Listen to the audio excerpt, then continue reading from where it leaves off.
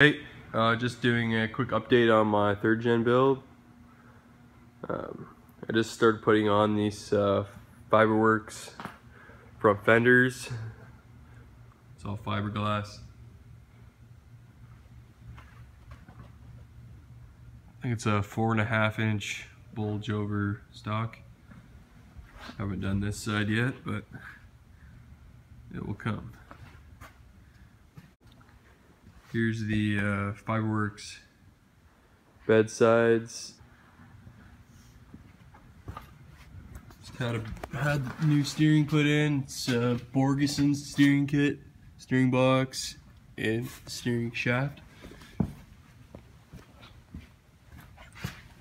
Also had a brand new NV5600 put in. It's a blue fourth gear last year. So that's all, all brand new with uh, my uh, Valair triple disc.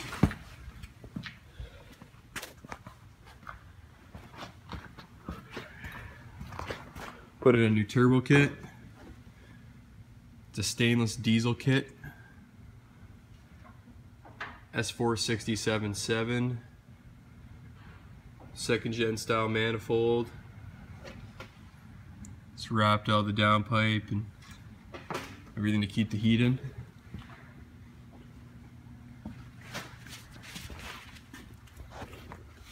So we got these cool uh, custom pedals made up.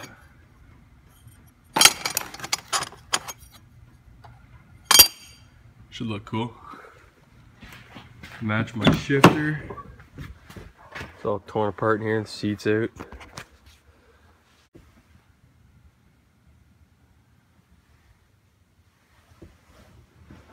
Got a full new stereo system. I got subwoofers, front door speakers, back rear door speakers, all new wiring, new amp.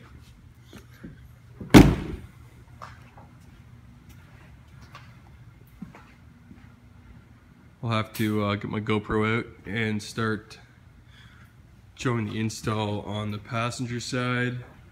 I will be pulling the box to drill out all the spot welds to do the bedsides.